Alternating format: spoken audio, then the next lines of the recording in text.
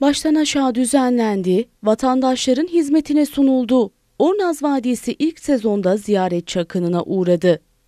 Ornaz Vadisi, Merkez Efendi Belediyesi'nin vizyon projelerinden biriydi.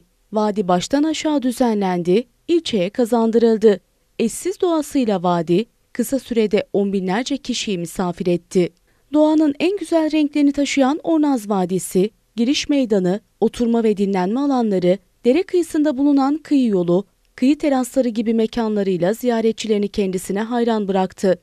Merkez Efendi Belediye Başkanı Muhammed Subaşıoğlu, 2018 yılının yaz başlangıcında açılışını gerçekleştirdiğimiz Ornaz Vadisi'ne açılışımızdan bugüne birçok hemşerimizi misafir etmenin büyük mutluluğunu yaşıyoruz. Vatandaşlarımız yaz sıcaklarında Ornaz Vadisi'nin serinliğinde dinlenme fırsatı buldu. Yoğun ilgi gösteren hemşerilerimize çok teşekkür ediyorum dedi.